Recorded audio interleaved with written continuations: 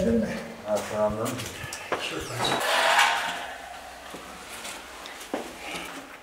Kedilerden korkunç kediler. Çok kedi var. Kanadı kırılmış. Kanadım kırık.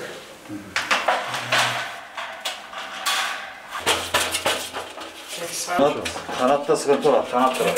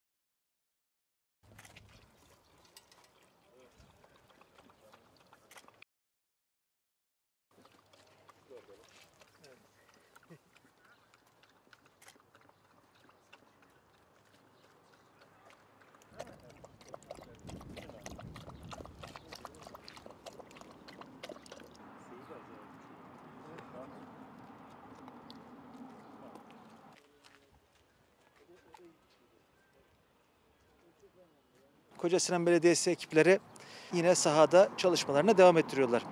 Tabii ki birçok birimimiz sahada çalışmalarını sürdürüyor ama veteriner hizmetleri birimimiz de özellikle pandemi sürecinde de yoğun bir şekilde çalışmalarını yürüttü.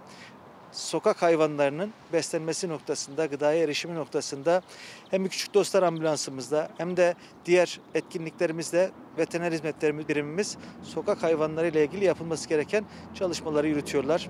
70 farklı noktada yemleme ünitemizle sokak hayvanlarının yemlemesini yapıyoruz. Gerek şehir merkezimizde gerek kırsaldaki sokak hayvanlarında bu noktada unutmuyoruz. Bütün sokak hayvanlarının gıdaya erişimi için Kocasinan Belediyesi Veteriner Hizmetleri Birimimiz çalışmalarına devam ediyor.